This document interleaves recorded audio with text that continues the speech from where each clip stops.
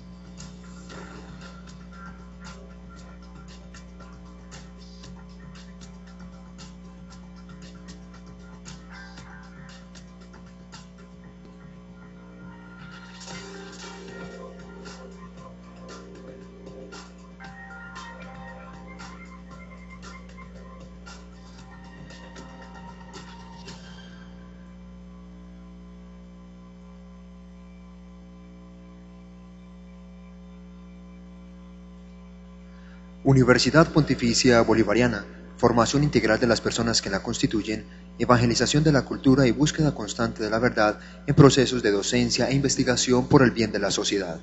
Queremos recordarles a todos que a partir del mes de febrero podremos descargar completamente gratis las memorias del pabellón del conocimiento en las páginas www.colombiatex.com, www.upb.edu.co e inexmoda.org.co. Tanto Inexmoda como la Universidad Pontificia Bolivariana les sugieren que por favor cuiden sus objetos personales. Queremos darle la bienvenida a Luz Amparo Fonseca, presidenta de Conalgodón, entidad aliada de Inexmoda. Luz Amparo nos estará hablando sobre las potencialidades del uso de algodón en el contexto nacional y mundial. Con la conferencia La pasarela comienza en el cultivo de algodón.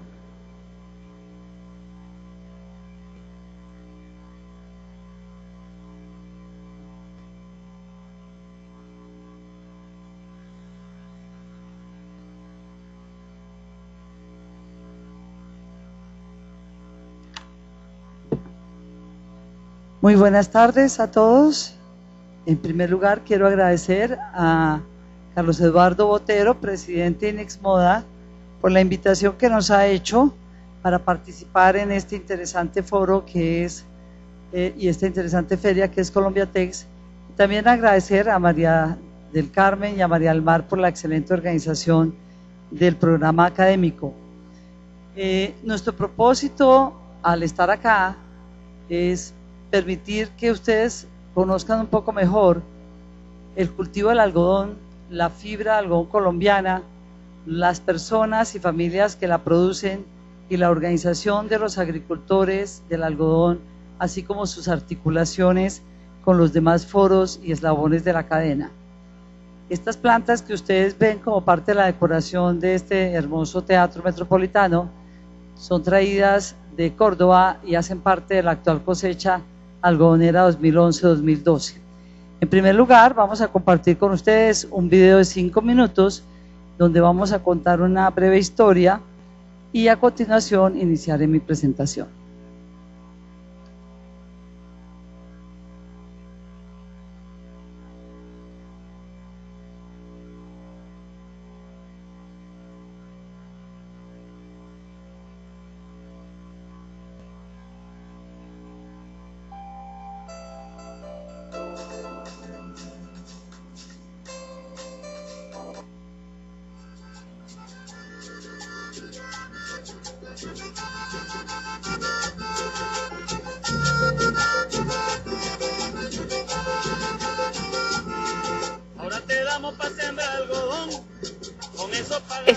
Código es más que un registro digital. Este código tiene parte de la historia de mi familia.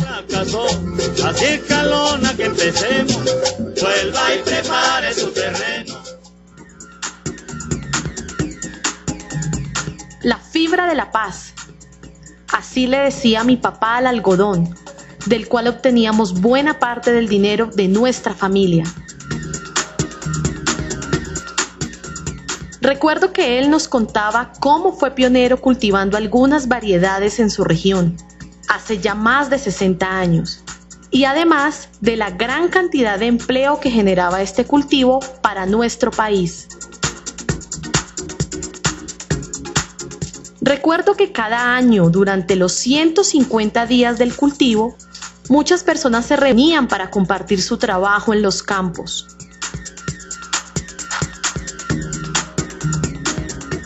Era como una celebración en la que formábamos una gran familia de muchos pequeños agricultores que compartían las alegrías de la germinación, de una buena recolección, pero también de las angustias de las numerosas plagas que permanentemente atacaban los cultivos y de los problemas económicos.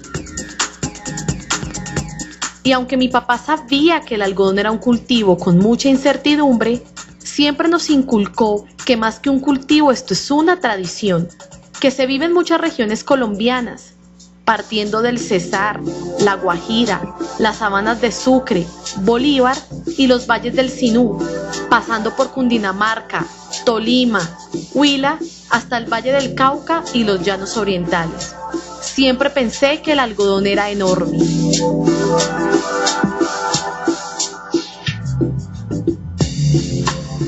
En día, gracias a la investigación y a las nuevas tecnologías, muchas cosas han mejorado. Por ejemplo, se han disminuido riesgos como las plagas. Sin embargo, otros factores como el clima adverso se han acentuado.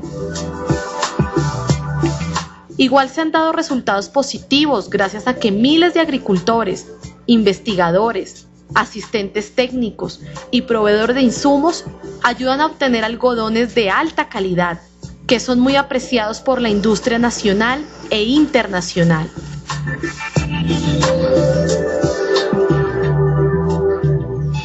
Recuerdo también que nuestro algodón lo recogíamos algunos a mano o con increíbles máquinas, preservando siempre la calidad del algodón colombiano, para luego separar la fibra de la semilla y poder entregarlo a la industria en forma de pacas de 225 kilos, con un código que le cuenta a la industria y al consumidor final en qué finca y año se cultivó, la variedad de semilla utilizada, el sitio de desmote y la empresa que lo comercializó.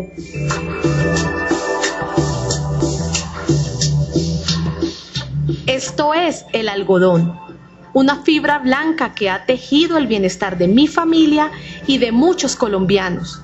Una fibra que, luego de salir de nuestras manos, la industria la transforma en delgados hilos y que luego son utilizados para la creación de hermosas y finas telas e increíbles prendas que aún tienen el código de quien cultivó su materia prima.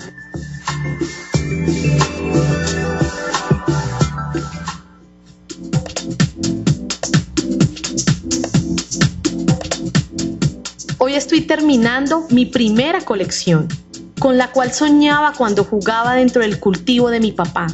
Estoy segura que esta colección viajará por famosas pasarelas, con telas que mi papá ayudó a cultivar.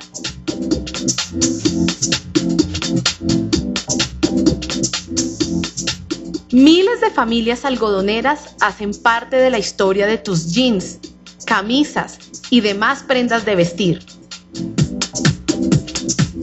Cuando compres, escoge prendas de algodón y que sean 100% colombianas.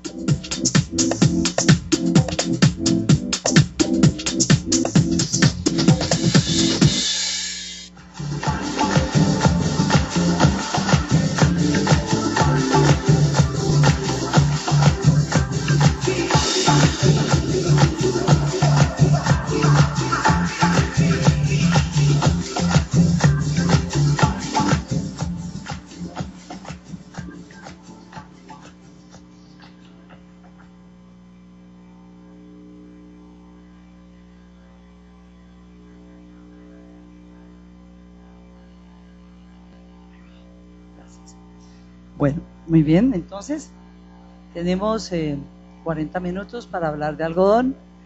Espero al final de la presentación tener tiempo para un diálogo y poder, ojalá, tener varias intervenciones o preguntas que ustedes quieran hacer. Eh, el contenido de mi presentación es el que ustedes ven en la pantalla.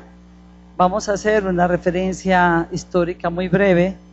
Vamos a, también a mencionar las diferentes cadenas a las que está articulada tanto la semilla como la fibra algodón. La pregunta que todos nos hacemos, ¿tiene futuro el algodón de Colombia? Y una nota sobre la sostenibilidad ambiental, por la, mediante la cual esperamos combatir varios de los mitos que todavía subsisten en, el imaginario colombiano eh, respecto a que el algodón es un cultivo altamente contaminante. Lo fue, pero hoy no lo es más. Y esperamos entonces poder mostrarles a ustedes por qué eh, hoy es un cultivo sostenible, biodegradable y que aporta mucho tanto al medio ambiente como a, la sostenibilidad rural colombiana.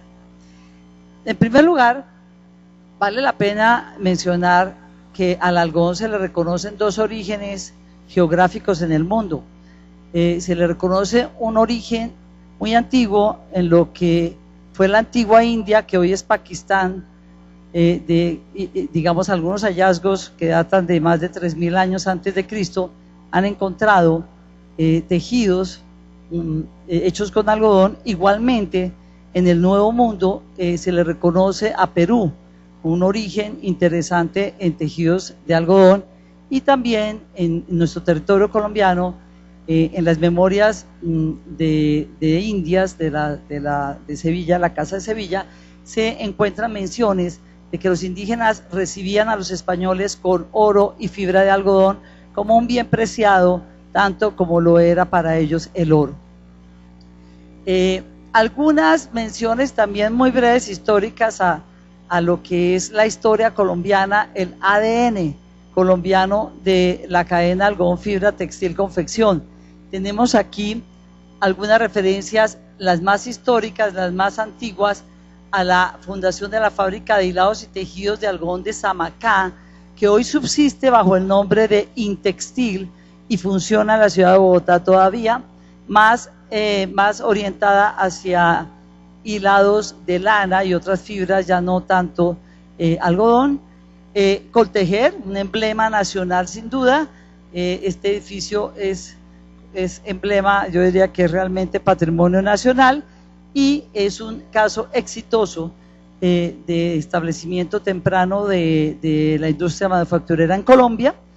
Eh, está el caso de la fábrica de tejidos de, San José de Suaita, ubicado en el departamento de Santander. Lamentablemente, un, esfuerzo fallido y fracasado de la familia eh, Caballero Calderón por hacer industria y por industrializar el oriente, el nororiente del país en el departamento de Santander y está también, reseñamos en 1920, Fabricato, la fundación eh, de Fabricato, otro emblema nacional. Eh, el siglo XX podemos afirmar que presenció tanto el auge como el declive de lo que fue el agronegocio del algodón como una de las actividades más importantes de la economía, no solamente agrícola, sino colombiana. Después del café, el algodón fue el segundo producto en generarle divisas al país y el segundo producto en exportaciones nacionales. Veamos rápidamente algunos datos que ah, nos ubican, digamos, en, la panorámica histórica. Eh, data de 1936 la aparición de las primeras cooperativas de algodón. Eh, en la década de los 50 se crea lo que fue la Federación Nacional de Algodoneros, eh, muy similar a lo que es eh, la Federación de Cafeteros y, digamos, eh, compitiendo por, por ser, digamos, las organizaciones agrícolas más fuertes del país. Eh, en 1970, la década de los 70, marca el comienzo, la, la, crisis más fuerte del algodón se da en la cosecha 1977-78, año en que el país tuvo sembradas 370 mil hectáreas de algodón, pero sufre una aparatosa eh, crisis y pérdida mm, dramática de la rentabilidad del cultivo, con lo cual ya muchos capitales huyen, por decirlo así, del cultivo y el proceso, digamos, de crisis se va a completar en el año 90-91 con la llamada apertura económica del gobierno Gaviria, que también eh, desprotege mucho a la fibra nacional y a la industria. Fue unos años muy difíciles para la economía nacional y allí ocurre la segunda, digamos, caída que va a determinar ya que el agronegocio del algodón tiene hoy otras dimensiones y tiene hoy otra cara fundamentalmente distinta al pasado. Parte de mi, del esfuerzo de mi presentación es hacer las paces con la historia. Eh, es cierto que el recuerdo del algodón es algo que todavía vive y añoramos en muchos casos, pero realmente al pasado hay que dejarlo ya en paz el algodón no volverá a ser lo que fue, pero tiene algunas oportunidades muy interesantes bajo una nueva concepción, bajo una nueva escala y bajo una nueva eh, dimensión de los mercados. Entonces lo hago para rendirle fundamentalmente un homenaje al pasado, pero también para advertir que ya no vamos a hacer más y que a veces el pasado, en el caso del algodón, puede volverse casi un obstáculo para permitirnos construir un futuro eh, más exitoso. En esa misma dirección, reseñemos que el cultivo del algodón, como lo dijo Jorge García García, fue y representó uno de los éxitos más espectaculares de la agricultura colombiana, pero se le destaca, ya lo mencioné, por ser muy importante en las exportaciones, alcanzamos a representar el 3% del comercio mundial de algodón en, los- en la década de los 70 del siglo pasado, pero además, en la historia, la historia colombiana, digamos, y la historia industrial y la historia de otros cultivos como la palma africana, hoy tan exitosa, le deben mucho al algodón colombiano. El algodón colombiano ayudó a construir la clase media de ciudades como Valledupar, como Cereté, como Armero y muchas otras que en su momento se llamaron las capitales del oro blanco. Eh, es más, eh, los, los, los primeros algodoneros y los algodoneros más exitosos que tuvo, el algo- que tuvo el cultivo hoy son palmeros exitosos, la mayoría de ellos. Nos quedan algunos, obviamente, en el algodón todavía. Eh, además, reseñemos que el cultivo del algodón es un excelente generador de empleo y de ingresos en las áreas rurales del país, por lo cual ha sido objeto también del apoyo y del interés de los diferentes gobiernos para generar eh, transferencias democráticas y reactivación de la agricultura y de las áreas rurales del país. Veamos entonces ahora eh, el algodón y sus cadenas. Se conoce, es más conocida la cadena que se deriva de la fibra de algodón, pero vamos a mencionar también la de la semilla. Cuando uno ve una planta de algodón, como la que tenemos aquí decorando el teatro, eh, cada motica blanca que ustedes observan tiene fibra y semilla. Tiene fibra en un 36% de su peso y semilla en promedio en un 54%. La fibra del algodón, una vez esta mota se recolecta, se lleva a las desmotadoras donde separamos la fibra de la semilla en condiciones que tienen que ser controladas para evitar contaminación, para entregarle a la industria, ojalá la fibra más limpia y más competitiva para su proceso industrial. En esa, en esa cadena, vamos a, ahora más adelante mencionaremos pues esta cadena que es donde nos vamos a concentrar, pero también hay que mencionar que de la semilla, la semilla es una semilla oleaginosa, y es muy apetecida, sobre todo en mercados como Estados Unidos, mercados muy masivos de comida rápida, porque de allí se extrae aceite y el aceite del algodón es eh, quizás el aceite con mayor resistencia a altas temperaturas y por lo tanto de mayor eficiencia para comidas rápidas como hamburguesas, papas fritas, etcétera.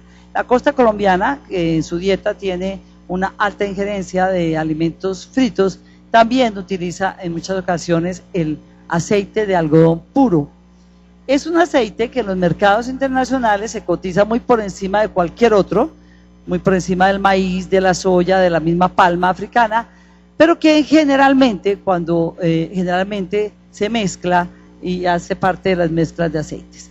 La cascarilla y que queda después de separar la, la cascarilla y las tortas que quedan después de, extraer- de la extracción del aceite, también son utilizadas en alimentos de concentrados para animales y finalmente de la merma se elaboran otros productos como aglomerados para muebles. Como ven ustedes, no se desperdicia nada de la planta de algodón. Eh, hay que rescatar que el algodón es el producto agrícola con mayor capacidad de agregación de valor a lo largo de su cadena. No hay otro producto agrícola que en su proceso industrial tenga tanta capacidad de agregación de valor como el algodón. Por eso, en la historia de los países, no solamente de Colombia, es un cultivo muy apreciado, sobre todo cuando se tienen altas poblaciones rurales y en países, digamos, todavía eh, con importancia eh, de lo rural. Eh, en términos generales, la cadena está constituida por la fibra de algodón, la hilatura, la tejeduría, el diseño y confección y moda. Hoy Colombia es un país muy competitivo en el tema de diseño y moda y por lo tanto eh, parte de los retos que vamos a mostrar posteriormente es cómo lograr que en esta cadena tan larga, que es una oportunidad eh, para un país como Colombia, podamos ir acumulando valor doméstico, podamos ir acumulando materia prima nacional en lugar de incorporar tanta materia prima importada. Eh, cada vez, digamos que estamos trabajando más articulados en cadena. Eh, me gustó mucho la propuesta de, de este foro académico, de esta feria de Colombia Tex, que se llama Sistema Moda. Eh, cuando uno mira o pregunta qué entenderíamos por sistema moda y nos comentan que es el tema más de la colaboración eh, a lo largo de las cadenas, pues creemos y compartimos que eso debe ser la prioridad. Ese tiene que ser el ADN colombiano para esta cadena y ese tiene que ser la carta de navegación para todos los eslabones. En esa dirección podemos afirmar los algodoneros que en los últimos años hemos tenido una mejor relación con los eslabones inmediatamente eh, superiores en esta cadena y con la cadena en general. Y lo hemos logrado, creo yo, por un trabajo de mucha gente, por una actitud, eh, un cambio de actitud de la confrontación hacia la concertación, del enfrentamiento de intereses hacia la articulación o la colaboración. No podemos cantar victoria, eh, es difícil este tipo, digamos, de espíritus colaborativos, pero finalmente estamos convencidos que es la única manera de jalar todos para el mismo lado y tener una actividad económica competitiva y exitoso, exitosa como país. Los dos principales foros articuladores que queremos hoy reseñar son el Comité de la Cadena, que, es, que convoca y el, articula el Ministerio de Agricultura y Desarrollo Rural, donde se discuten muchos temas eh, del día a día de la cadena, de sus necesidades, de las necesidades de los industriales de complementar la oferta nacional con importaciones en condiciones favorables para ellos cuando absorben nuestra cosecha y de otros temas de interés de, todos los eslabones. Y también queremos mencionar muy especialmente la Cámara Andy, la Cámara Algodón Fibra Textil Confección de la Andy, eh, que hoy está estrenando nueva directora y, y, cuya directora anterior, María del Mar Palau, eh, le hacemos un reconocimiento muy especial. con una persona que trabajó mucho por una, un nuevo diálogo y una nueva cultura de relacionamiento al interior de este foro. Eh, igualmente, eh, con algodón, es parte y es miembro y representa al gobierno nacional en el foro internacional más importante de los algodoneros a nivel del mundo, que es el Comité Internacional Consultivo del Algodón, ICAC, por sus siglas en inglés, y les queremos comentar que posiblemente y ojalá para el año 2013 Colombia pueda ser la, sede de la plenaria mundial de los algodoneros con beneficios para todo Colombia en términos de turismo, en términos de conocimiento del país y para la cadena en términos de oportunidades de negocio. Hemos trabajado con varios de los participantes y miembros de esta cadena en diseñar unas reglas del juego, en acordarlas, reglas que no pueden ser muchas, que ojalá fueran no más una, trabajar todos eh, de manera concertada y todos mirando hacia el mismo lado.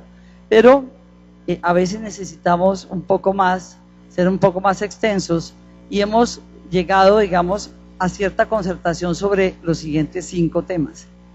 Optimizar el contacto y la comunicación directa. Creemos que, que intermediarios en la comunicación no ayudan. Cuando la comunicación puede ser directa, debemos hacerlo. En ese caso, en este caso, para nosotros venir a Colombia Tex es tener la oportunidad de encontrarnos directamente con los empresarios, con, las, con los consumidores de nuestro producto y eso lo valoramos y eso es, es una cultura que queremos eh, ejercer y que queremos practicar. Lo segundo, un conocimiento mutuo del negocio. Esto sí que es importante. A veces nos piden a los agricultores cosas que son imposibles en el corto plazo de ajustar. Yo les quiero comentar que el desarrollo de una semilla nueva de algodón, de una variedad nueva de algodón, toma entre 6 y 7 años. Eh, quiero comentarles que en este momento, por ejemplo, nosotros tenemos que estar arrendando las fincas en el Tolima para sembrar desde febrero y poder tener oferta en el segundo semestre del año 2012. Eh, la agricultura demanda unos tiempos diferentes a los ajustes que pueda tener la industria. La agricultura es una actividad que se hace a cielo abierto, que está sometida a condiciones climáticas y a condiciones ambientales que no siempre le son favorables y que más bien podemos decir que en los últimos años le han sido relativamente adversas. Eh, en fin, conocer los tiempos industriales y conocer los tiempos agrícolas hace parte de este proceso de conocimiento mutuo que tiene que ser parte, digamos, de la cultura de relacionamiento entre los eslabones de la cadena. Igualmente, eh, queremos que las relaciones con el gobierno nos encuentren unidos, pero unidos en torno a planes de competitividad concertados. En esto todavía falta mucho por trabajar. Generalmente llegamos al gobierno sobre el incendio y la urgencia de que alguno de los eslabones está a punto de desfallecer o estamos, digamos, sufriendo eh, algún tipo, digamos, de problema de mercadeo, de invasión de islas extranjeras o de falta de competitividad extrema. La verdad en esto todavía Colombia y esta cadena pues tenemos un gran reto por delante. Estadísticas oportunas y confiables. En eso también creemos, nosotros creemos que la época de tener las, las cifras debajo de la mesa y esconderlas pasó. Eso hace parte del pasado, de una forma de negociación vieja. Hoy, el que, con el Internet, con los sistemas de información que tenemos, tiene más ventaja competitiva el que mejor conoce su negocio y el negocio del otro, el que más capacidad tenga de manejar estadísticas también y de poderlas en un momento dado poner sobre la mesa para ayudar a que una negociación o un negocio se concrete. Ese tema nos le damos la mayor importancia y evitar prácticas comerciales o empresariales que beneficien a unos a costa de otros. Esto también creemos que es una tentación grande, no lo, no lo negamos. Eh, lograr un beneficio para un eslabón que siempre va de golpe a deteriorar al siguiente hacia arriba o hacia abajo en la cadena, pues es otra práctica que pensamos debemos combatir. Pasamos entonces al tercer punto de la presentación, que tiene que ver con la pregunta más difícil, que es si tenemos futuro en el territorio colombiano. Yo tuve una reunión con el padre Jaime Bernal, hoy director del SENA y lamentablemente director por poco tiempo porque se va para Roma, y hablando, digamos, de la, del tipo de un convenio que queremos firmar con el SENA a tres años para que nos ayude, digamos, a poner, a listar a este sector frente al TLC. Él me, a boca de jarro, me preguntó, ¿el algodón tiene futuro en Colombia? Entonces me vio obligada a responder eh, en ese momento muy rápidamente y ahora un poco más preparadamente. Pero la verdad es que todos los días nos lo preguntamos, todos los días estamos trabajando porque la respuesta sea sí, le estamos apostando a que tenemos eh, opción de estar y hacer parte del mapa agrícola de Colombia en los próximos, en las próximas décadas, pero hay que trabajar muy duro realmente y tenemos muchos retos hacia adelante. Lo primero es que este cuadro les quiere mostrar a ustedes ¿qué, en principio, qué va a cambiar? ¿Qué es más obvio que cambie en el momento en que empiece a operar el TLC?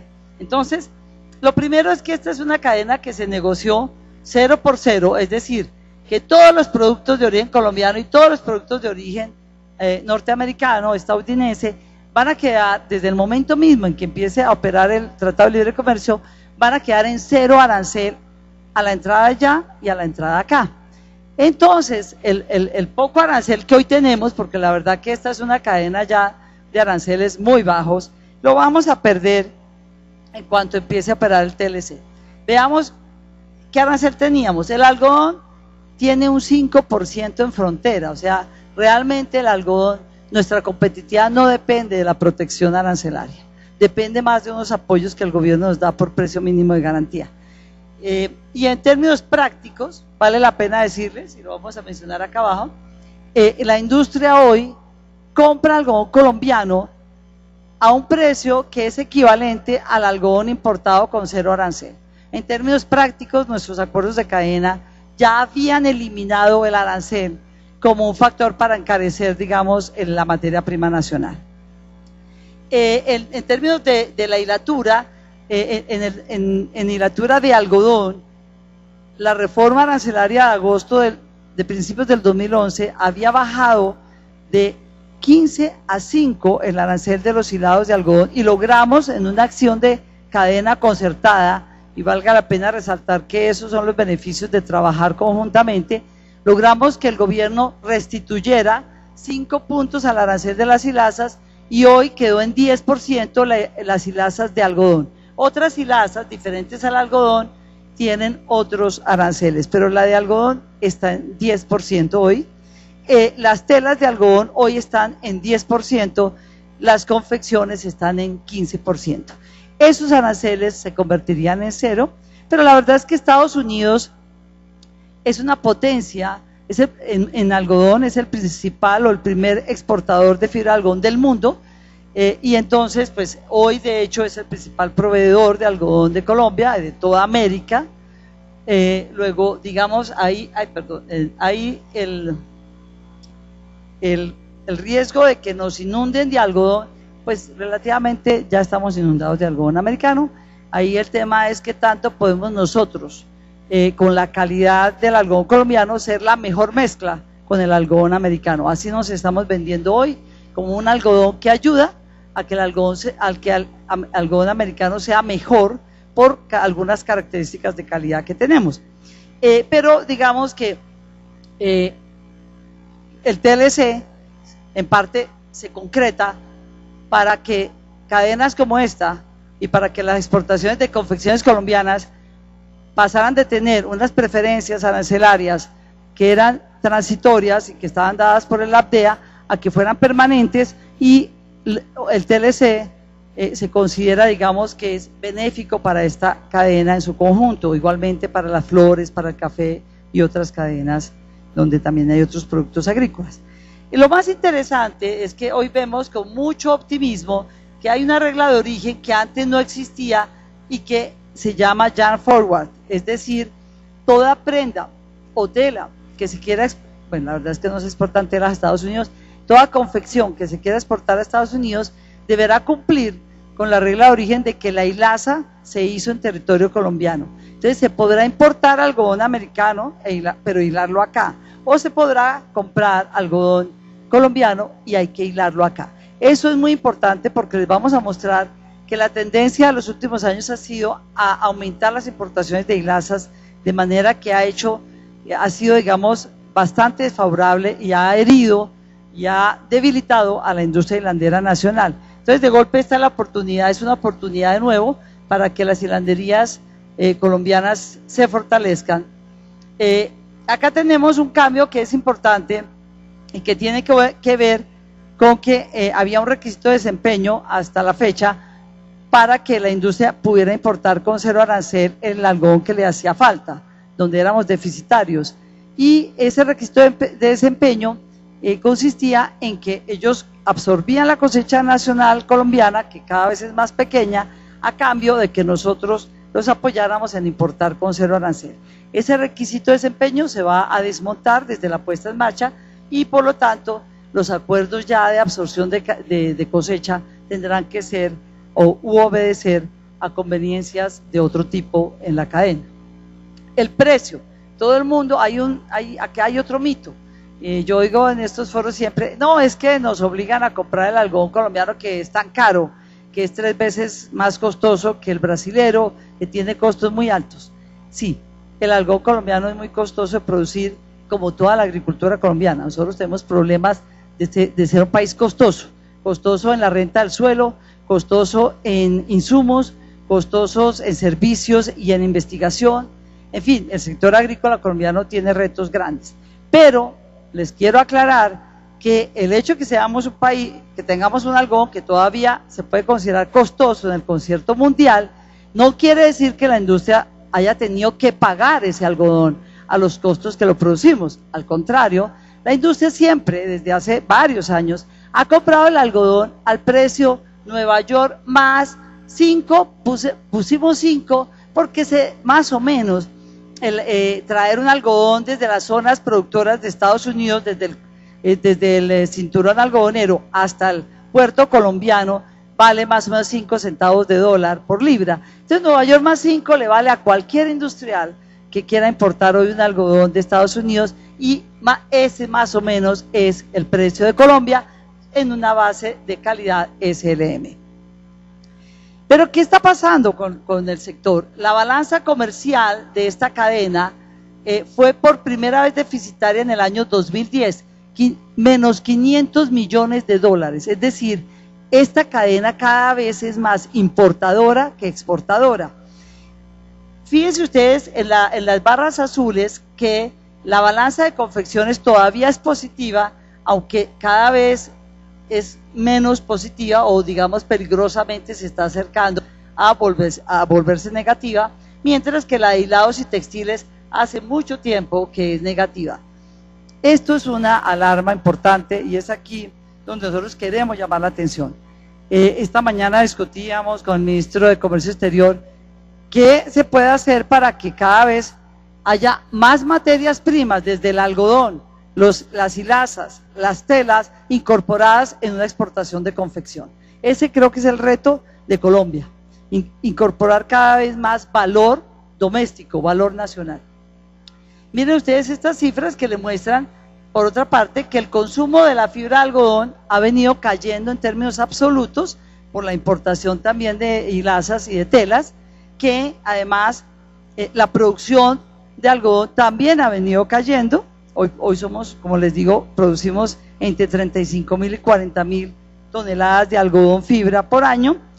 La hilatura de rotores, que es destinada a open end, a, a- a hilados de open end y generalmente destinada a denim, es la que está siendo más dinámica. Hoy el principal producto de exportación de Colombia en telas es el denim, es decir, el país ha optado por esa, por, por esa opción desde, no sé si, si fue realmente un tema que lo vimos y lo visualizamos o si un poco ha sido el resultado de diferentes esfuerzos relativamente aislados. Y las importaciones de hilaza de algodón han crecido, como yo se los mencioné. Esto realmente nos indica a los algodoneros que no crecer, sino simplemente sostener el área algodonera nos va a obligar a diferenciar calidades y segmentar mercados por lo siguiente. Es un cuadro un poquito complejo, pero yo voy a tomarme el trabajo de explicarlo porque creo que esta es una oportunidad de que nos conozcamos mejor. Hay dos tipos de hilatura, la hilatura de rotores y la hilatura de anillos. Para la hilatura de rotores es óptimo utilizar algodones más cortos, de fibra corta o media. El, algodón se mide en 32 avos de pulgada y aquí están las diferentes longitudes que podemos decir llegan hasta la media. Los algodones largos eh, son estos y son más utilizados en la hilatura de anillos y después en una tejeduría de punto. El tejido de punto, por ejemplo, generalmente tiene una hilatura de anillos, mientras que el- el- la hilatura de rotores va para procesos de open end. El denim se concentra en este tipo de hilatura. Miren ustedes el consumo nacional entre el año 2005 y 2011 en este tipo de hilaturas, cómo evolucionó. Si bien el consumo de algodón cayó, fíjense ustedes que el de rotores aumentó, mientras que el de eh, hilatura de anillos cayó dramáticamente. El algodón colombiano es óptimo para hilatura de anillos. Entonces, lo que nos está pasando a nosotros es que mientras la cosecha, está la cosecha nacional, la cosecha nacional cada vez se concentra más en algodones largos óptimos para hilatura de anillos. Entonces, queridos amigas y amigos, tenemos acá un problema serio. ¿Qué hacemos? Tenemos varias opciones. Cambiar las variedades de semilla y cambiar de golpe las regiones algodoneras y dedicarnos a producir algodones más cortos. Los algodones más, más, algodones más cortos, ¿cuánto nos demoramos en adaptar unas semillas, en hacer una investigación? Eso podríamos evaluarlo. Pero ¿qué pasa? Hoy somos un país que está concentrado en fibra larga. Eh, ustedes veían en el video que las variedades de semilla determinan el 50% de la calidad de la fibra y el otro 50% lo determinan las prácticas agrícolas y el clima. Hoy Colombia es óptimo para producir algodones de fibra larga. Hace muchos años solamente el Valle del Cauca producía fibra larga. Esa fibra larga puede ser usada para hacer hilos muy finos y hilos finos son usados para hacer telas muy finas. Eso hace Perú. Perú tiene algodones Pima y tiene Tanwish que son extra largos y con eso ellos han logrado posicionarse como una de las industrias más exitosas en el mundo. La propuesta de los algodoneros es, en lugar de empezar a buscar bajarnos nosotros de calidad de fibra, le estamos ofreciendo a la industria la posibilidad de que desarrolle algunos segmentos de, de hilos y telas finas donde pueda realmente competir no por no por cantidades y no por sino por y no por no bajando precios sino por calidades. Creemos que Colombia se merece esa opción y que el campo colombiano se la merece y que los algodoneros estamos dispuestos y listos para para hacer su mejor materia prima siempre y cuando optemos también por desarrollar otro tipo de procesos que no solamente sean denim. Perfecto, denim, maravilloso. Si Colombia logra ser más competitivo que Brasil y que otros países que son potencias en denim, excelente. Pero tenemos el reto. ¿Qué hacemos los algodoneros? Nos devolvemos a una variedad. Ahora, las variedades cortas son las que son el fuerte de Estados Unidos. Estados Unidos, el 95% de su cosecha es algodón corto y medio. Y un 5%, el de California, es largo. Entonces nosotros hacemos parte de ese 10% de algodones largos del mundo. Por Dios, aprovechenos o desaparecemos. O bien, lo que vamos a hacer, que estamos abriendo mercados de exportación. Ya estamos exportando un poquito a Perú, estamos abriendo el mercado guatemalteco y haremos lo que sea necesario para sobrevivir antes de desaparecer o para sobrevivir y crecer. Entonces los retos los hemos definido así. Colombia es un país costoso, con altas deficiencias en infraestructura y con escalas muy pequeñas, tanto en lo agrícola, eh, lo agrícola como en lo industrial. Definitivamente nosotros frente a la China, nosotros hace varios años trajimos a una conferencista mexicana, la directora de la Cámara Textil de México, nos dio una conferencia excelente, un video chino, donde una sola empresa en China eh, exportaba todo, producía y exportaba todo lo que produce Colombia como país. Entonces realmente nosotros tenemos que aceptar que somos realmente muy pequeños en el concierto global. Entonces, dado eso, la propuesta que creemos más conveniente es, que nos especialicemos y que realmente tengamos unos segmentos de alto valor agregado, que, nos, que no tengamos que competir con las camisetas baratas de la China, eh, sino que compitamos con las telas más exquisitas que pueda imaginarse el mundo y que las tiene Perú. O sea, eso no es nada extraordinario tampoco. Pero para eso tendríamos que desarrollar mayor capacidad de retención del valor doméstico desde las materias primas. Miren ustedes el caso del Perú. Acá les traigo unos daticos un poquito desactualizados, pero muy, muy, muy dicientes. Perú es parecidísimo a Colombia. Consum- consume entre 85 mil y 100 mil toneladas de algodón al año. Es deficitario porque sus algodones Pima y Tanguis solamente son alrededor de 40 mil toneladas al año. El resto lo importa. Tengo 10 minutos, voy a tratar de redondear.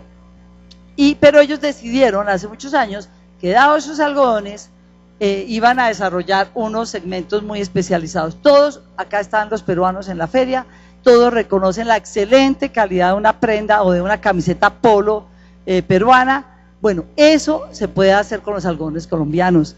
Miren ustedes que Perú optó por una hilatura y una confección, una hilatura de anillos y una confección de punto en un 90%. Y miren ustedes que mientras Colombia en el año 2005, el, el metro equivalente de confección exportado a Estados Unidos se lo pagaban a 4 dólares, a Perú se lo pagaron a 8.6. Esta información la vamos a actualizar, pero es muy diciente el tema.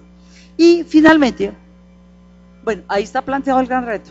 La verdad les decimos, todo lo que podamos hacer, lo vamos a hacer. Todo lo que, eh, las ideas, las propuestas, eh, estamos dispuestos a escucharlas, la situación lo demanda así. Y finalmente queremos pues simplemente decirles que el algodón ha evolucionado mucho también en términos de competitividad y de sostenibilidad ambiental, que hoy eh, somos un cultivo que ha bajado de manera drástica las aplicaciones de agroquímicos, especialmente insecticidas, debido a varias razones. Uno, hoy tenemos algodones más densos, eh, por unidad hectárea estamos siendo más eficientes. Lo mismo que producíamos en el año 1977, que les conté que fue el año históricamente pico, hoy necesitamos la mitad del área para llegar a producir lo que producíamos en la década de los 70. Hoy tenemos eh, acceso a semillas transgénicas, ustedes lo vieron en el video, y definitivamente el algodón frente a las eh, fibras artificiales, pues es biodegradable y es un cultivo renovable. Miren ustedes que en términos de consumo de agua, el algodón demanda hasta cinco veces menos que otros cultivos como el arroz y cada vez están desarrollando variedades más resistentes a sequías con menos eh, demandas de riego y de agroquímicos. Igualmente, eh, es sostenible en la medida en que toda su planta se utiliza. Muchas, eh, muchas fincas en Córdoba y en otras zonas del país están haciendo lo que se llama labranza mínima. Entonces los residuos de las plantas se quedan en el suelo, se incorporan al suelo para formar tierra y suelo también y protegen al suelo de los rayos del sol y del efecto invernadero. Igualmente, eh, como les comentaba, pues estamos articulados a otras cadenas donde transformamos y utilizamos todos los residuos de la planta de algodón. Con esto, pues termina mi presentación diciéndoles que eh, la fibra de algodón es una fibra que está presente eh, en nuestras vidas desde la pijama, las sábanas, las toallas, los jabones, los vestidos y que determina en gran medida nuestra apariencia y nuestra forma de vivir. Muchas gracias.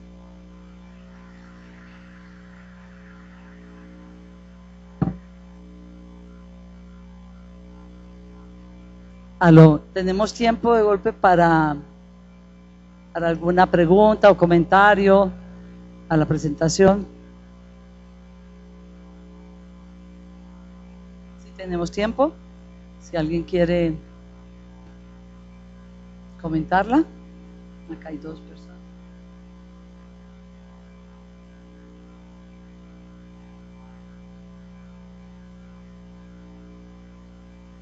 A mí me inquieta saber cuál sería la diferencia, pues, que tendríamos que competir con América al algodón que tenemos acá, pues, cuáles serían las expectativas que tendríamos frente a eso. Dices entre el algodón colombiano y el estadounidense, el americano. Yo prefiero, si quieren, escucho las preguntas y, y las respondo todas simultáneamente. ¿Qué pasa con la recuperación del algodón de colores como se está haciendo en Argentina, en Guatemala y en, Estados Unidos? Como bien es sabido, eh, en América precolombina se producía algodón mm, del verde y del habano claro al café oscuro y también una contradicción porque los eh, españoles trajeron semillas de algodón de fibra larga porque el algodón que se daba aquí cultivado y silvestre era de fibra corta.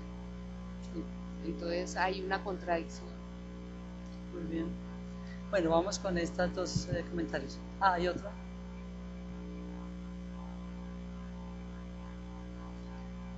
Pero creo que voy a preferir ir contestando porque se me acumula mucho. Eh, bueno, em, empecemos por la última.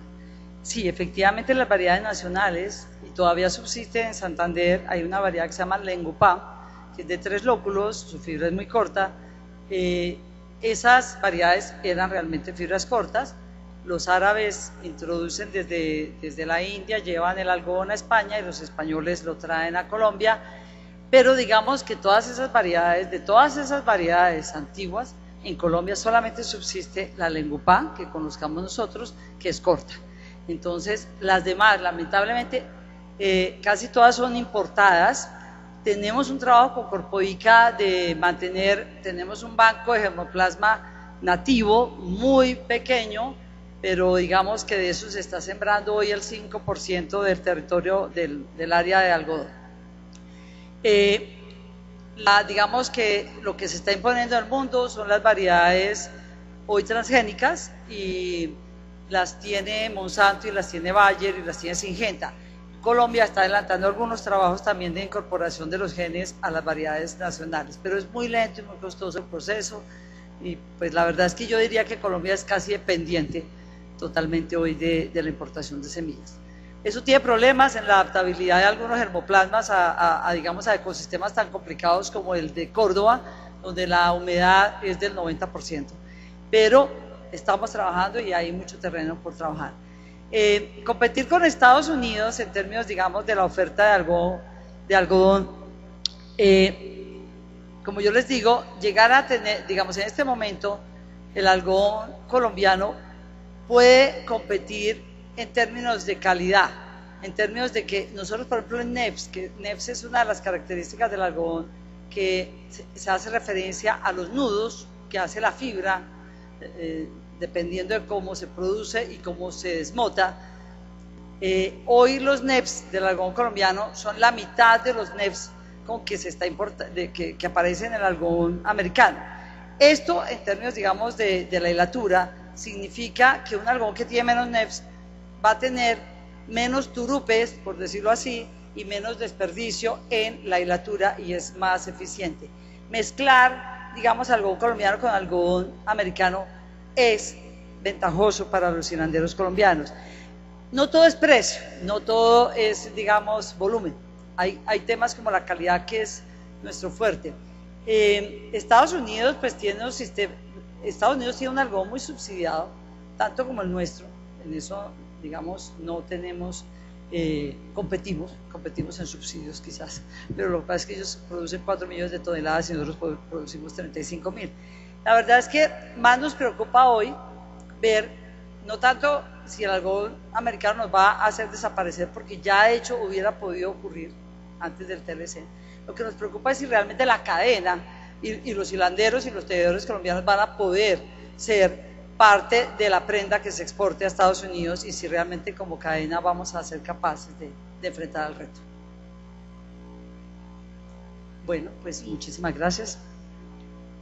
Sí, ¿Una la, la pregunta era justamente con ese último tema que tocó. Si ustedes sienten pues como, cade- como algodoneros, digamos, como con algodón, que esta política de transformación productiva apoya, ayuda a esa integración de la cadena como tal, la articulación de toda la cadena productiva o definitivamente sienten que esa política de transformación productiva no está haciendo, no está apoyando la integración de toda la cadena. Pues muy buena pregunta y gracias por hacerla.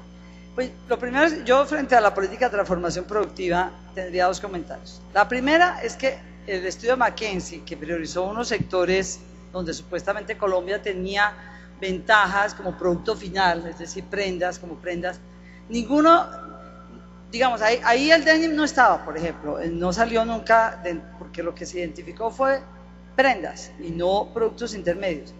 Yo nunca vi un proceso que dijera, bueno, definitivamente nos vamos a alinear todos para ser los mejores proveedores de eh, ropa de hogar y de uniformes, que fueron dos de los productos que salieron priorizados. Nunca hubo una concertación, ni ha habido hasta el momento, un alineamiento de varias empresas diciendo nos vamos a volver el clúster más importante de América en ropa de cama. No lo hubo. De hecho, nosotros importamos todos los, todo lo que es ropa de cama fina, que se encuentra en, eh, que son cubrelechos, sábanas, etcétera, todo es importado. Y todo es hecho con algodón. Entonces, lamentablemente ahí están los estudios, pero nunca ha habido ese alineamiento. Eh, y lo otro es que, sinceramente, yo creo que ahí nos falta en la política de transformación productiva que haya un discurso más, más de país. Yo no digo más proteccionista, pero sí más nacionalista. Y, que, no confundamos nacionalista con proteccionista.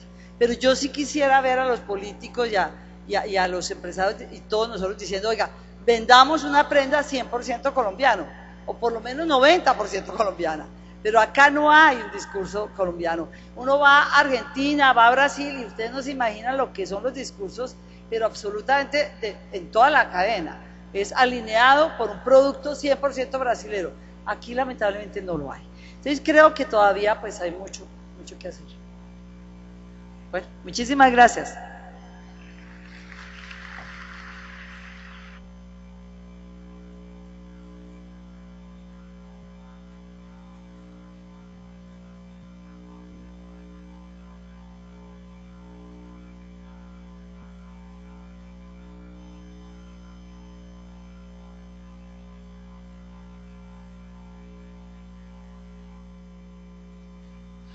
En un momento daremos paso a la conferencia El ADN de las nuevas fibras a cargo de la docente de la Universidad Pontificia Bolivariana Adriana Restrepo. Universidad Pontificia Bolivariana 75 años de formación integral para la transformación social y humana. Recuerden que todos podremos descargar a partir del próximo mes las memorias del pabellón del conocimiento en las siguientes páginas www.colombiatex.com, www.upp.edu.co o inexmoda.org.co.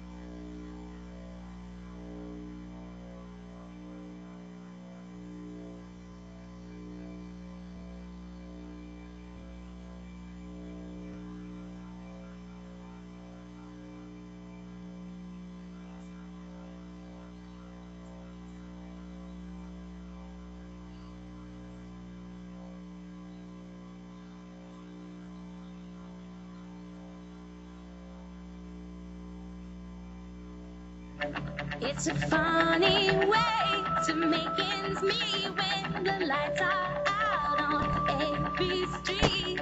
It feels alright, but never complete.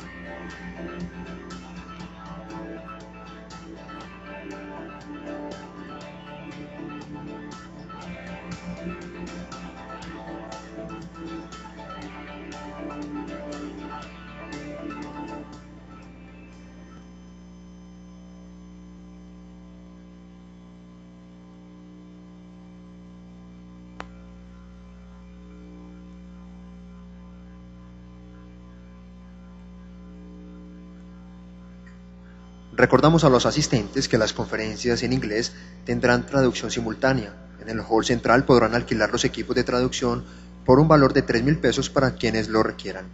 La Universidad Pontificia Bolivariana e Inex Moda estamos comprometidos con una mirada sistémica del mundo de la moda. Por eso, damos comienzo a la conferencia El ADN de las nuevas fibras a cargo de la docente de la Universidad Pontificia Bolivariana, Adriana Restrepo.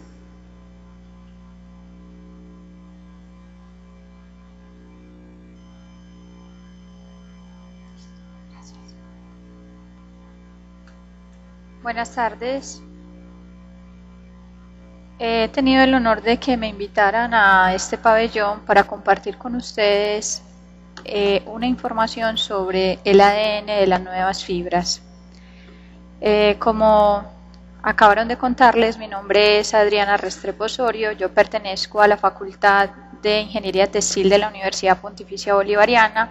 Además, hago parte del grupo de investigación sobre nuevos materiales y recientemente del semillero de investigación en textiles. El tema que nos aglomera hoy en este espacio es el sistema moda y me pareció pertinente representar el sistema moda como un sistema neuronal. El sistema neuronal dentro de nuestros cuerpos está actuando sin siquiera que lo percibamos, pero actúa en cada una de las actividades que desarrollamos. Así también el sistema moda está actuando en nuestras vidas. Sin notarlo, el sistema moda, así como lo decía la publicidad, es mucho más de lo que te pones, es lo que comemos, hace parte de las elecciones diarias que hacemos en todos los ámbitos. Entonces es interesante ver cómo en un sistema se interconectan los puntos, aunque estén distantes en él, y todo responde al unísono. Asimismo pasa con nuestro sistema moda. Dentro de ese sistema moda hay una cantidad de tendencias, pero si analizamos hay un asunto que viene marcándonos hace algunos años, es que el sistema moda vuelve a lo natural. Estamos hablando de que hablamos de combustibles naturales, hablamos de colorantes naturales, hablamos de alimentación natural, Hablamos de cosméticos naturales y de lecciones textiles desde la decoración, desde el vestuario, desde lo que usamos en nuestro día a día cada vez más natural. Dentro de este volver a lo natural hay algo que hace parte fundamental. El ADN de esos textiles naturales entonces son las fibras, obviamente las fibras naturales. Las fibras naturales están haciendo el core el, alma perfecta de esos textiles naturales. Entonces, ahora bien, ¿cuál es el ADN de las fibras en el sistema moda colombiano? Como lo acabamos de ver en la conferencia que estaba antes, el algodón es el corazón de todo el sistema moda colombiano, es el que prende las alarmas cuando hay un problema, es el que nos rige, el que más usamos y no es solo para el sistema moda colombiano, sino también para el sistema moda mundial.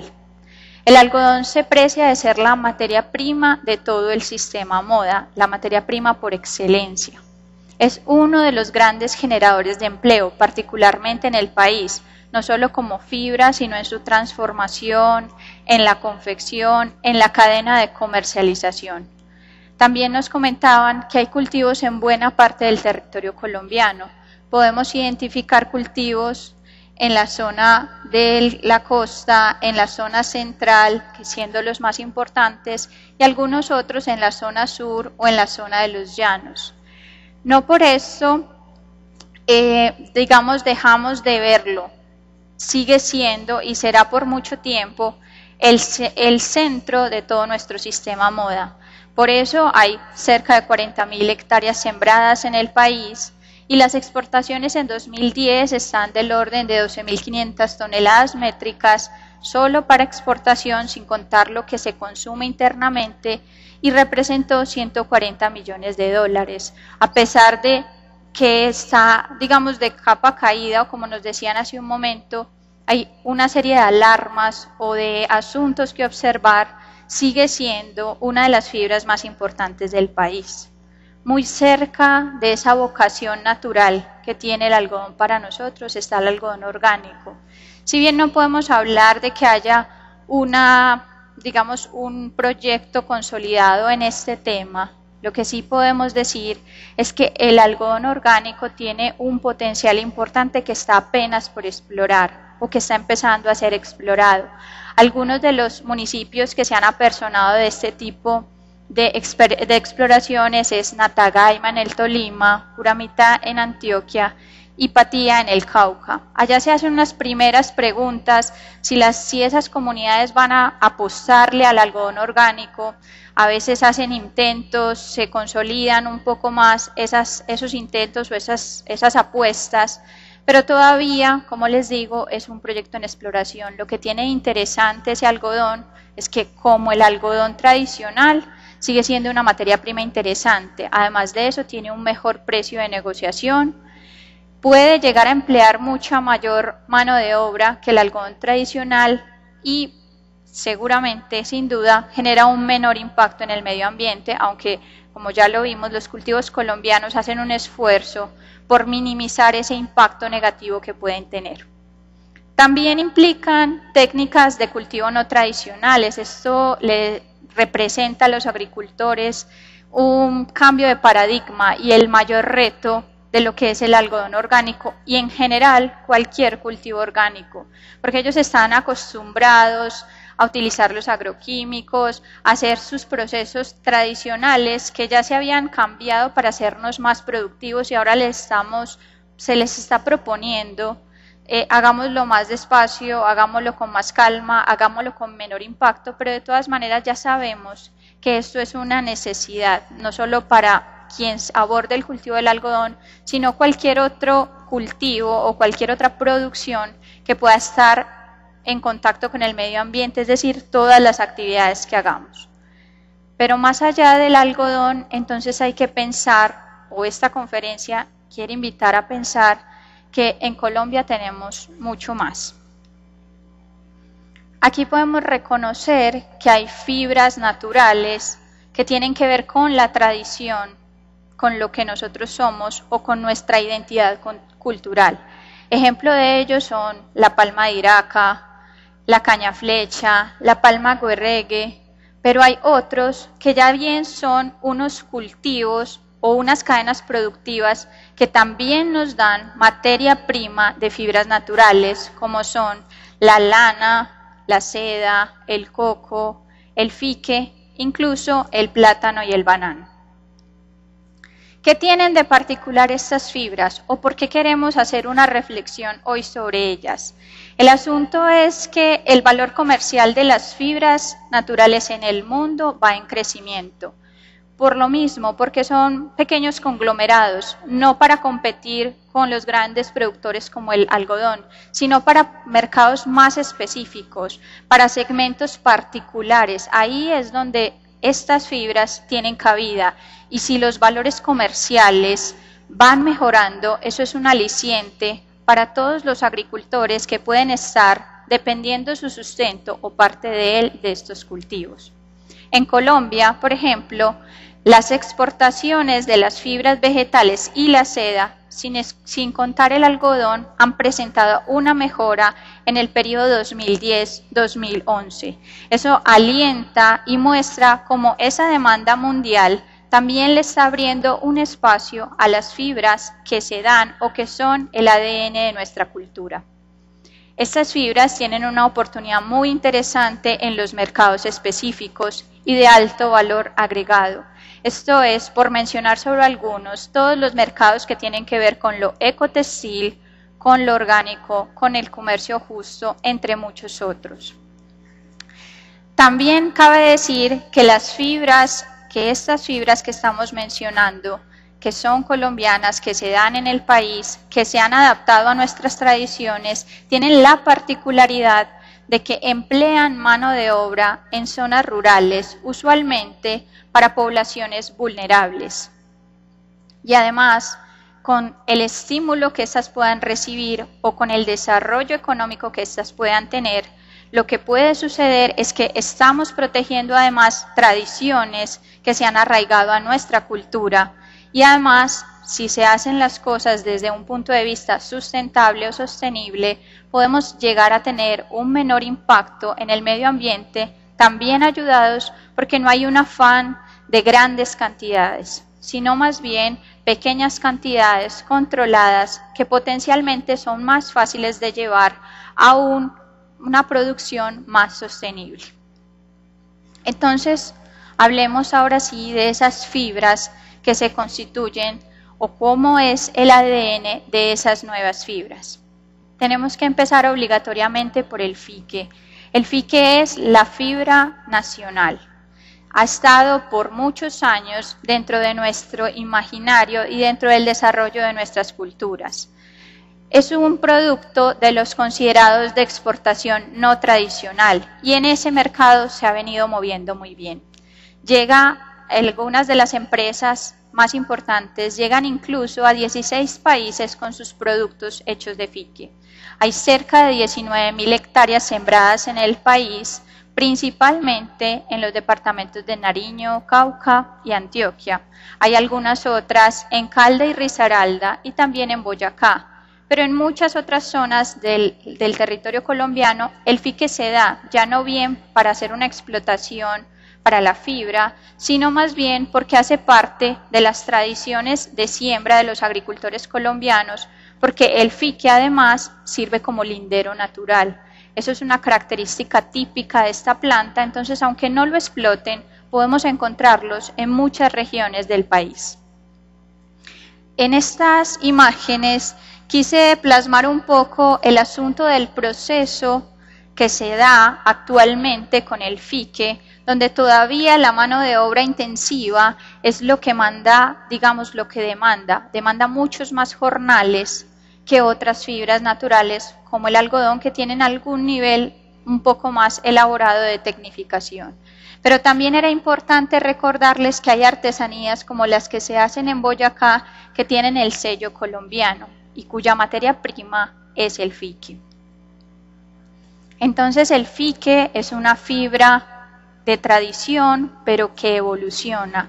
¿Por qué? Porque no solo se ha concentrado en los mercados tradicionales, el típico y emblemático empaque del café y de otros alimentos, también los hilos y cuerdas de amarre, sino que poco a poco y en los últimos años ha venido a representar la mayor digamos, la mayor potencia económica los nuevos productos. Entonces ya vemos como apuestas serias la elaboración de textiles, agrotextiles, materiales compuestos e incluso el uso del fique en materiales de construcción.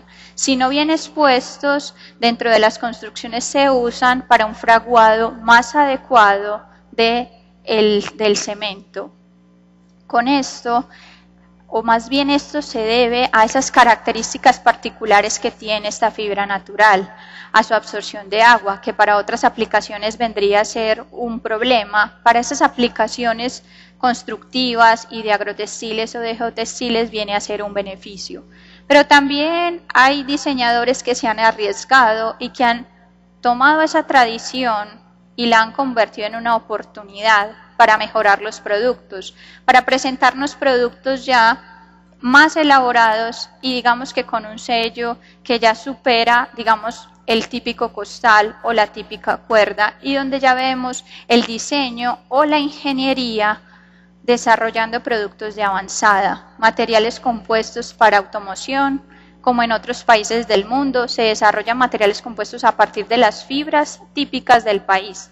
Esa es una oportunidad para el FIQUE y para otras fibras naturales colombianas. Seguida, después del FIQUE sería necesario hablar del plátano y el banano. Si bien el negocio más importante del plátano y el banano no son las fibras, lo que sí es cierto es que el plátano y el banano también se encuentra en todo nuestro territorio colombiano. Hace parte de la cultura propia y por tanto hay una gran cantidad de hectáreas sembradas en el país.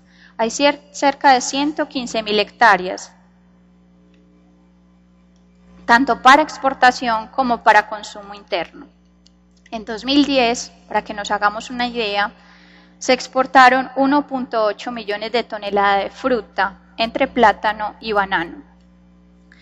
Además, eh, además de todos los cultivos que podamos encontrar tradicionalmente en todo el país, se concentran en Urabá y Magdalena el banano de exportación, que implica grandes territorios sembrados y dispuestos exclusivamente para la obtención de la fibra. Pero de la mano de, esa, de esas grandes cifras encontramos que la fruta representa solo el 8% de la planta.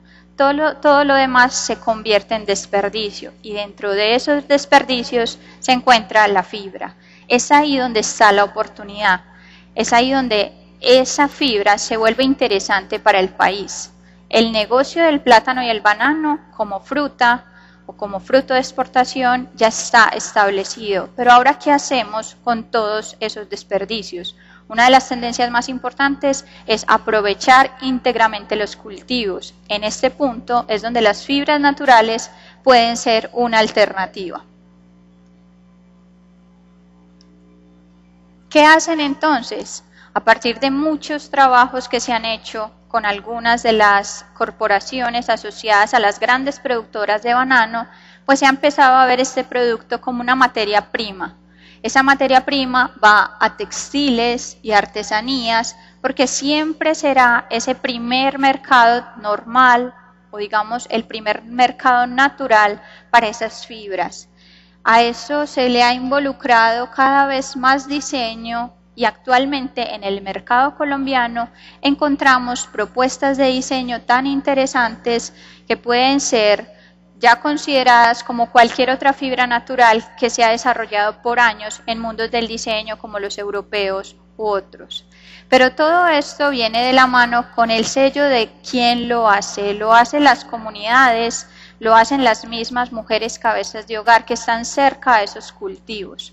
Y por otra parte, entonces se han aprovechado estas fibras naturales para desarrollar materiales compuestos, materiales de construcción, geotextiles y agrotextiles. Aquí vemos algunos ejemplos de, materiales elaborados con esa intencionalidad, de ser materiales ya no en el sector tradicional, en los textiles tradicionales, sino en materiales constructivos que tienen una potencial aplicación tanto en nuestro país como también como un producto más de exportación que podríamos tener. Otra fibra natural, y ya saliendo un poco de las fibras vegetales que se produce en el país, es la seda. Como les decía antes, no estamos hablando de grandes volúmenes, estamos hablando de pequeños volúmenes, pero de, unos, de unas características bien interesantes. La seda es la combinación perfecta entre artesanía y tecnología. La seda ha sido desarrollada en el país tradicionalmente por comunidades rurales y por etnias colombianas. Esto hace que muchos ni siquiera tengamos mucha información al respecto, porque casi todos los productos que se desarrollan con esta fibra son para exportación. El asunto es que el desarrollo de la seda tiene una particularidad, tiene una gran adaptación para hacer un trabajo asociativo y que fácilmente se integra, por ejemplo, al café tradicional o al café orgánico. Los departamentos en los cuales se desarrolla la sericultura son el Cauca, el Valle del Cauca y la zona cafetera, porque inicialmente esto fue una de las alternativas que le propuso el Comité de Cafeteros a los caficultores para la diversificación de sus cultivos mantenidos ahí y bajo esta, digamos, bajo esta estructura se ha desarrollado, tal vez de una manera callada, el desarrollo de la sericultura en el país.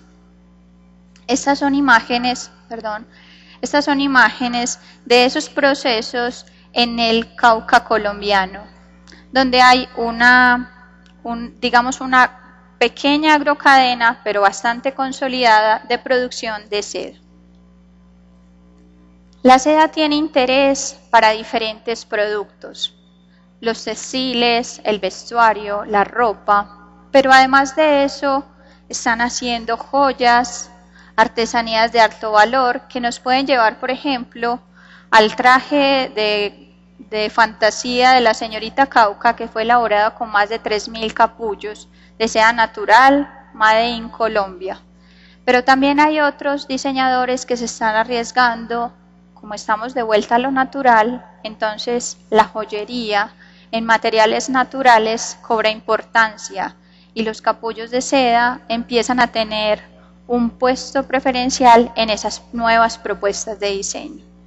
Más allá de eso, entonces encontramos las tradicionales aplicaciones donde están los chales, las bufandas y demás, pero también hay toda una línea de ropa hogar que tiene más beneficios, incluso porque la misma característica de la seda hace que esas propiedades puedan ser transferibles a los usuarios de esa ropa hogar.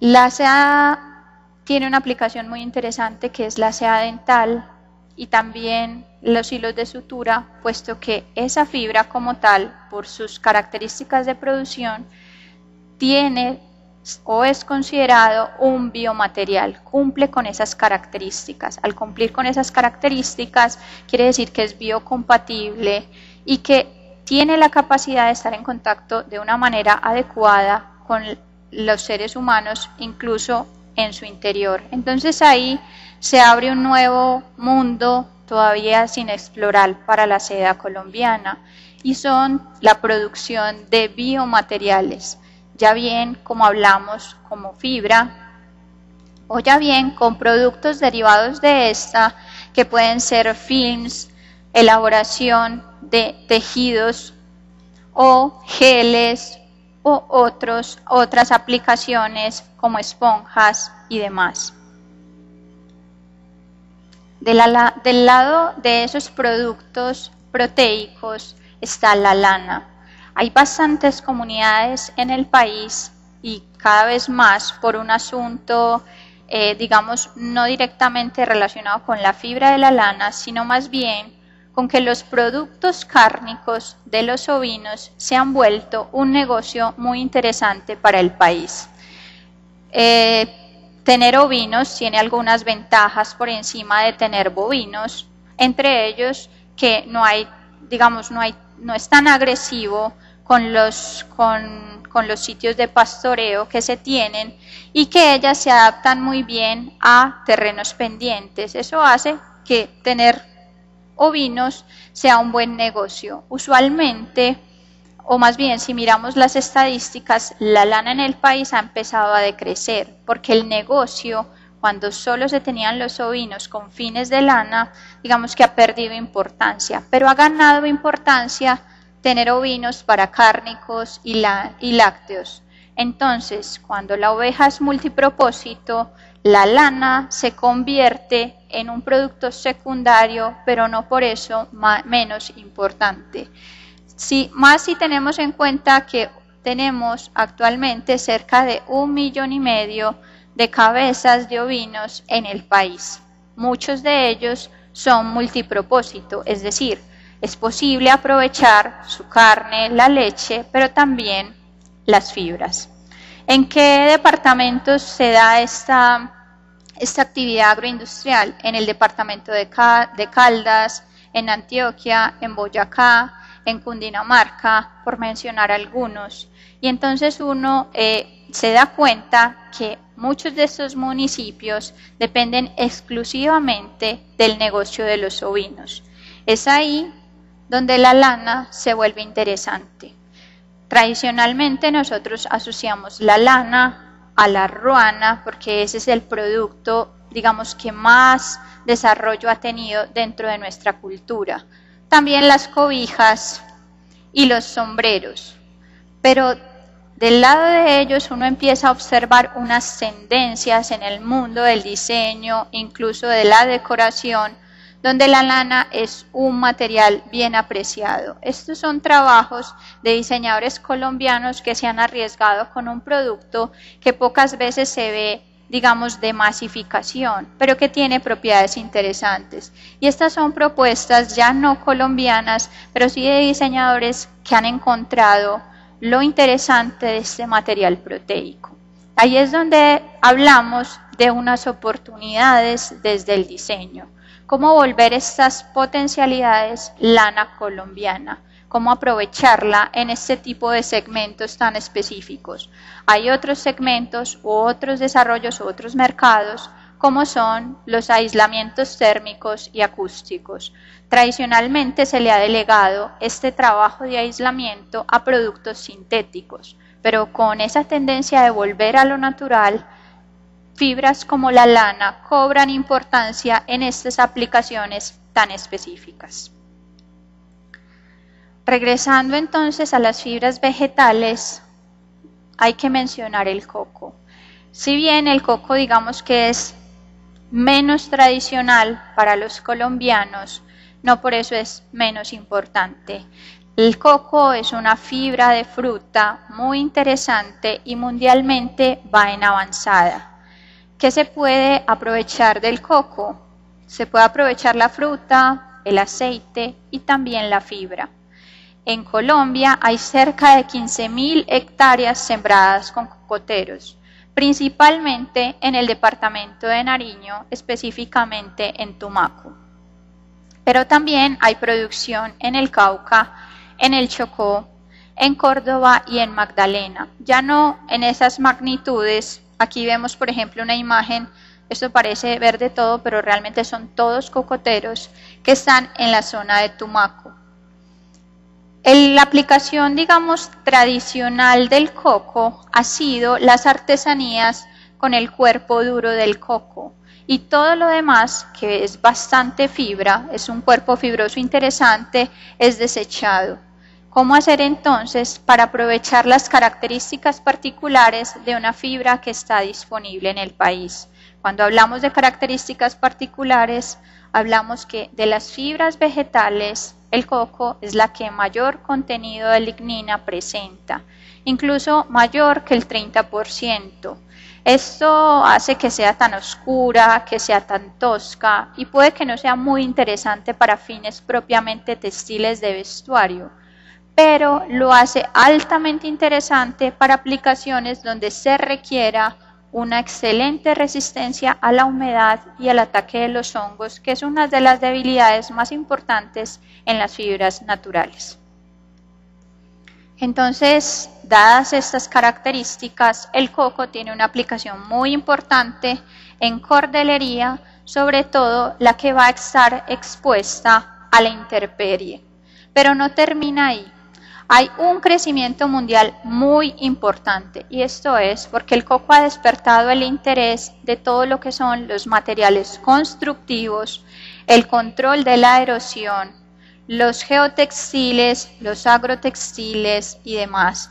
Nosotros, la aplicación típica que le hemos visto es en los agrotextiles, porque en muchas casas habrá algún matero que tiene un soporte hecho de fibra de coco. Pero más allá de eso, se pueden hacer este tipo de estructuras que previenen las erosiones de los cauces de los ríos. Y también aquí hay un ejemplo que está desarrollado en Taganga, o sea que es un ejemplo local donde la fibra de coco se usa como el reforzante del techo de esta casa a la que se denomina un proyecto de una casa ecológica. En otras aplicaciones ya no locales, encontramos a la fibra de coco haciendo de relleno en colchones, puesto que sus propiedades le permiten estar en estas aplicaciones hipoalergénicas. Entonces empezamos a encontrarla en una cantidad de sectores de interés, lo que nos hace pensar que la tenemos disponible y que lo que falta es cómo la incorporamos más allá de los agrotextiles o los textiles para la construcción. Pero en Colombia, si bien las fibras que acabamos de mencionar son aquellas que tienen cadenas productivas asociadas, bien sea por ellas mismas o bien sea porque son subproducto de otras cadenas consolidadas, tenemos otras fibras. Y estas pueden ser denominadas pura tradición, porque hacen parte de lo que somos, de la identidad, de lo que nosotros tenemos. Entonces ahí encontramos numerosas palmas, entre ellas la palma guerregue, que es una palma típica del Chocó colombiano y con la que se hace principalmente cestería, pero se empieza a trabajar en productos, decoración y de interiorismo. ¿Cómo empezamos entonces o cómo plantear este tipo de tradiciones que trasciendan sus aplicaciones únicas? También está la palma de Iraca, cuyo principal aplicación es la sombrerería. Ahí también hay una oportunidad y ya muchos diseñadores han hecho, se han arriesgado en algunas apuestas con la palma de iraca o con la caña flecha.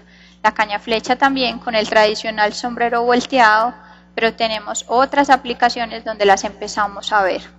Está la damagua y el cabecinegro, que también son fibras chocuanas. Creo que si uno se dedicara solo a las fibras chocuanas podría encontrar una cantidad.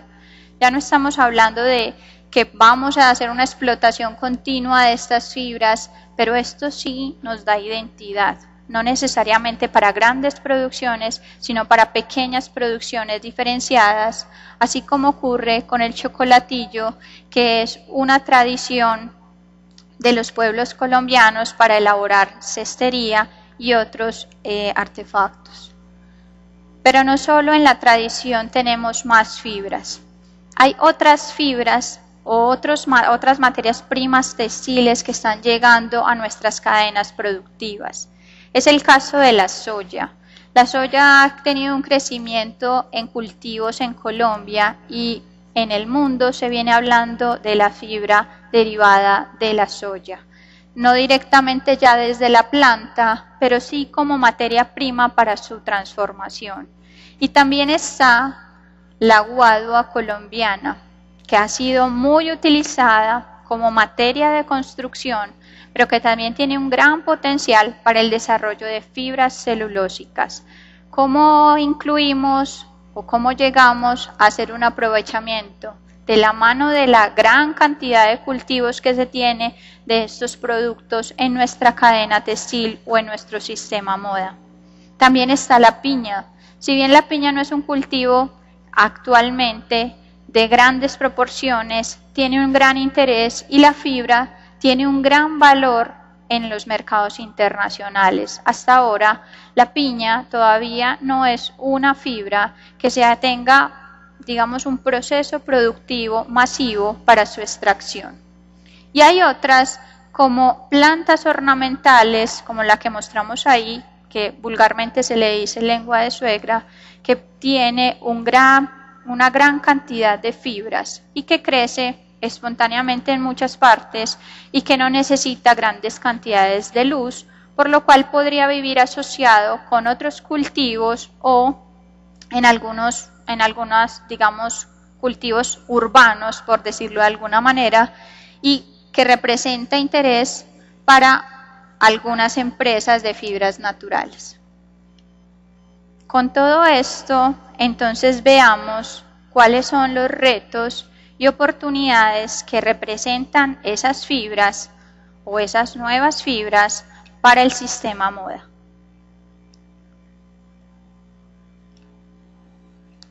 En las fibras de origen vegetal, como vimos, tenemos mucha abundancia. Por, el mismo, por la misma megadiversidad que tenemos en el país, hay grandes cantidades de fibras, hay diferentes fibras naturales que se dan en Colombia, bien sea como subproducto o como producto primario. Ahí hay un campo de investigación importante que son cómo hacemos esas fibras más acomodadas a los sectores de vestuario. Ahí aparecen los temas de cómo suavizarlas, porque en general son bastante toscas o rígidas y aparecen los conceptos de cotonización o de volverlas parecidas al algodón. Estos procesos se vienen investigando, en algunos países están más desarrollados que en otros y hay procesos químicos y enzimáticos que lo permiten. Pero también está una oportunidad de convertirlo en materia prima para briquetas, es, decir, convertirlo en un material para combustible, para ciertas, digamos, para ciertos espacios, el combustible va a ser mejor si viene dentro de lo natural y dependiendo del potencial que tengan las fibras como material combustible, podrán ser mejor o más usadas en esto, incluso los desperdicios que se den de esto. También está el renglón de la producción de papel y también está cómo hacer acabados especiales que compensen esas debilidades que pueden presentar estas fibras. Esto es procesos de autolimpieza, color permanente o repelencias, bien sea al agua o bien sea a los aceites.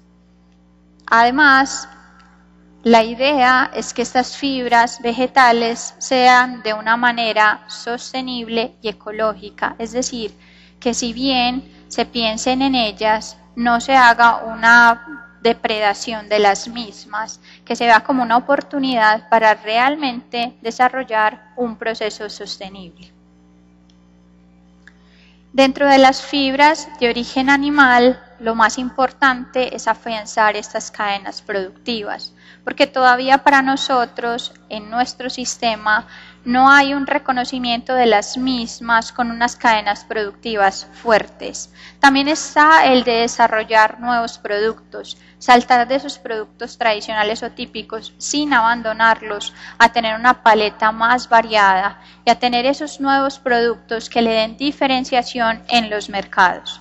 También está el aprovechamiento integral de estas fibras. Muchas veces como es el caso de la lana, se hace la ruana o se hace la cobija, pero no hay un aprovechamiento integral de los residuos y pasan a formar, digamos, más desperdicios. La idea sería cómo pensar en esas fibras naturales dentro de un aprovechamiento integral, aprovechar las grasas asociadas, aprovechar las fibras cortas, utilizarlas como elementos adicionales para rellenos, para otros productos nuevos.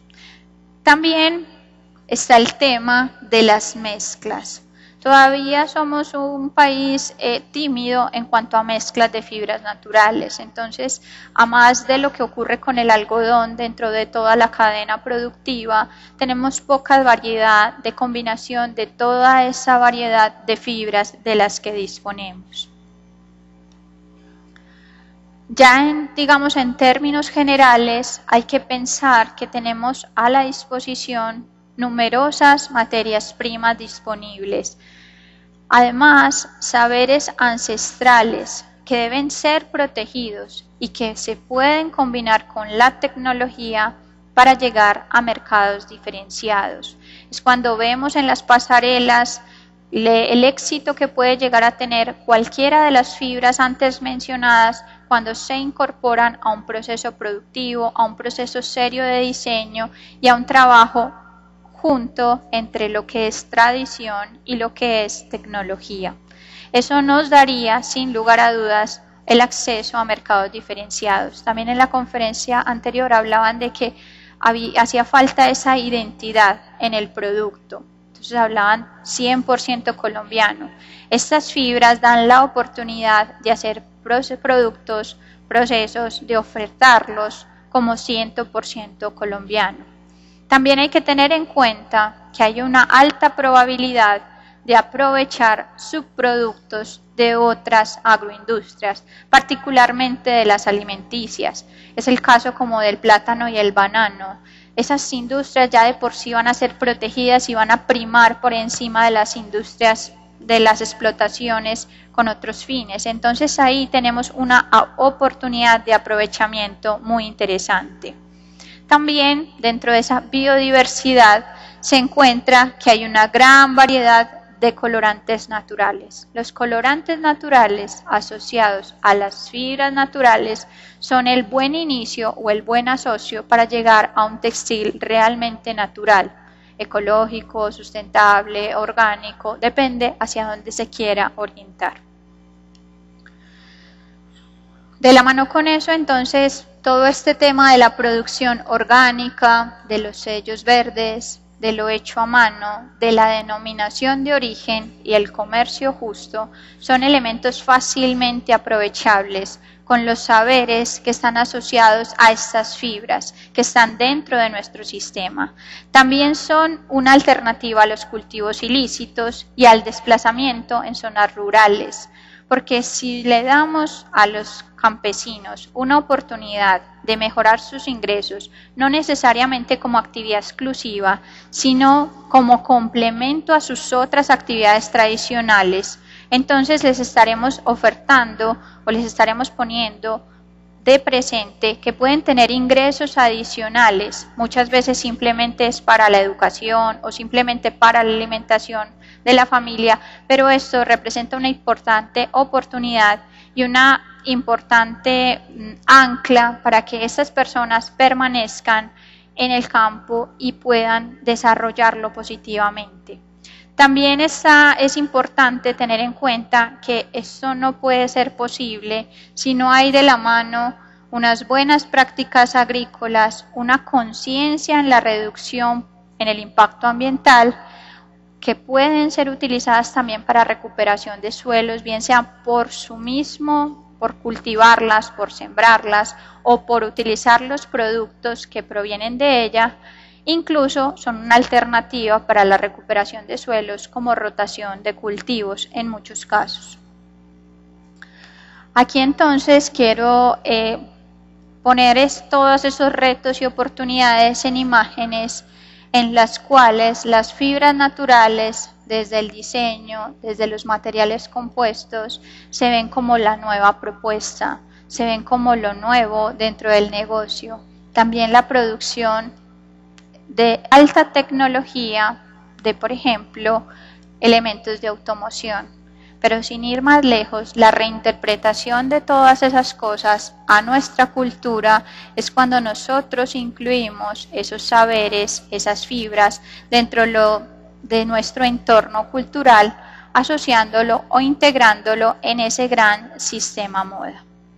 Entonces, por último, quiero dejar eh, como reflexión que tenemos mucha fibra para el sistema moda colombiano, que está mucho más allá de lo tradicional y que nos identifica, que hace parte de nuestro saber como colombianos. Muchas gracias.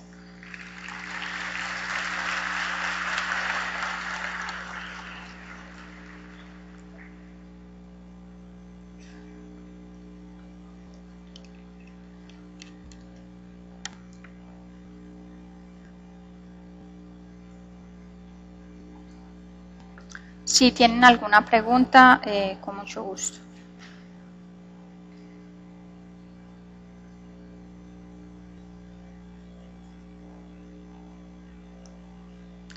Gracias.